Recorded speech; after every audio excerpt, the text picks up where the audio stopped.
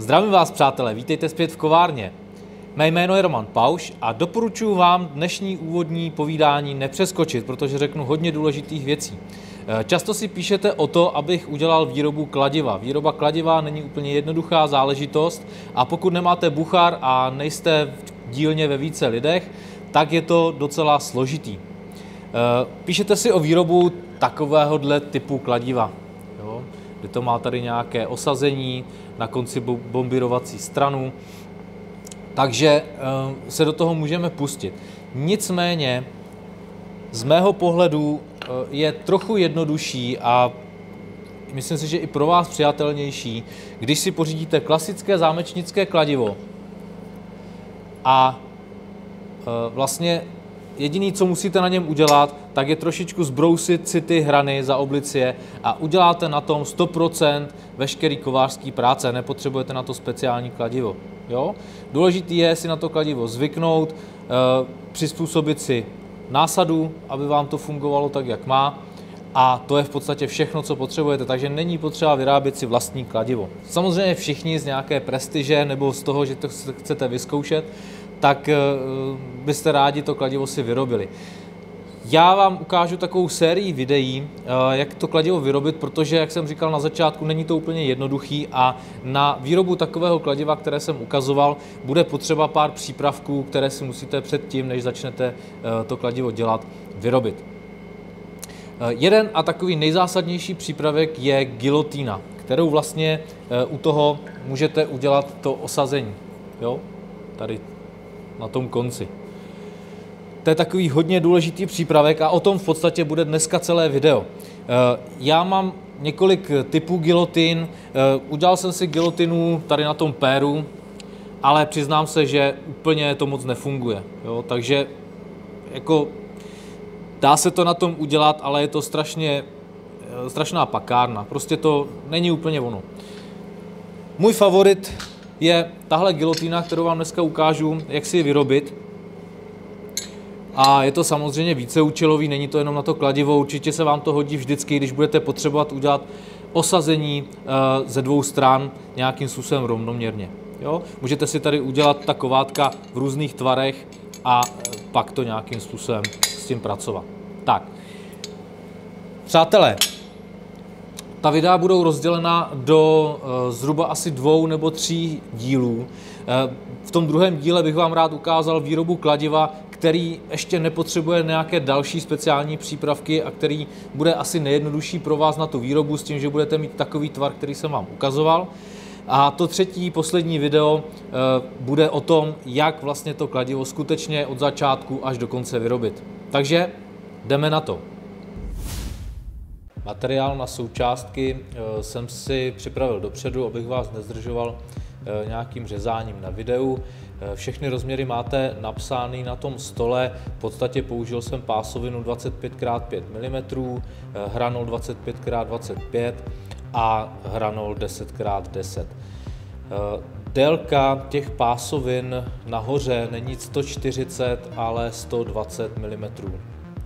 To jsem si neuvědomil, když jsem to tam psal, takže si to jenom poopravte.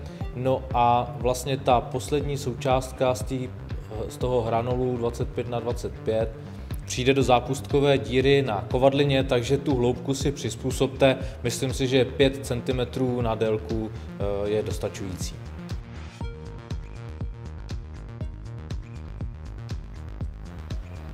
Já jsem začal tím, že jsem si eh, vlastně nejdříve svařil ty boční vodící profily.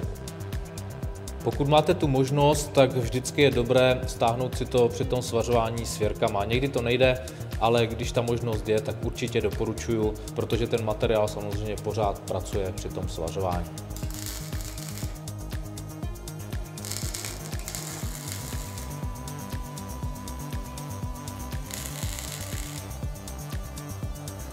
Před tím svařováním byste si měli vždycky připravit ten materiál a vybrousit si ho do Včka, aby ten svár eh, se vám provařil. Jo?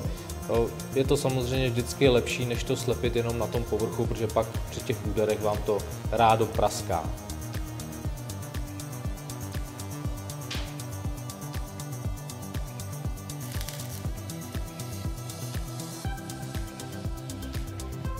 Tak tady je taková první zkouška, jak to sedí v té kovadlině.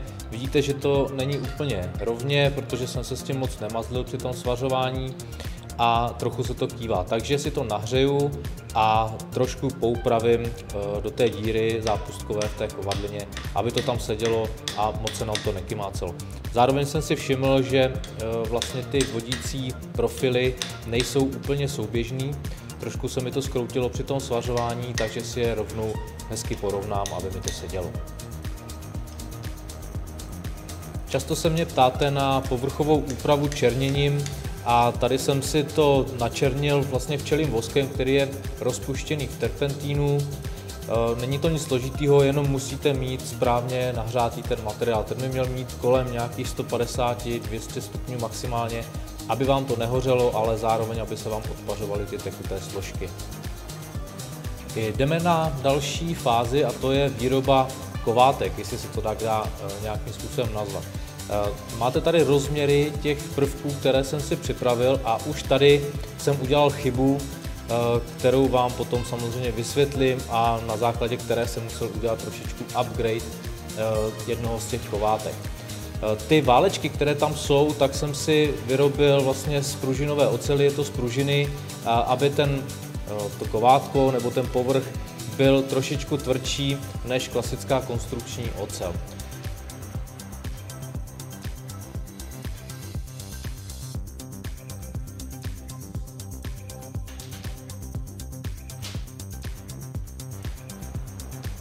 Uhlíkové ocely se všeobecně špatně svařují, takže před tím svařováním doporučuji eh, si ten materiál trošičku předehřát, aby vám to potom při tom chladnutí nepraskalo. Eh, já jsem to svařil, eh, měl jsem to malinko předehřátý, ale zvolil jsem ten postup, že vlastně nahřeju ten materiál a nechám jej pozvolna vyžíhat. V podstatě je to proces pomalého chladnutí materiálu, kdyby se ten materiál měl normalizovat a dostat na nějaké původní hodnoty. Tím se zmírní pnutí, které je uvnitř toho materiálu hned vedle toho sváru. Původně jsem si říkal, že ta kovátka nebudu ani kalit, ale nakonec jsem se rozhodl, že si je zakalím. Kalil jsem to v oleji při teplotě zhruba nějakých 750-800 stupňů. Chladil jsem zhruba polovinu eh, té kulatiny.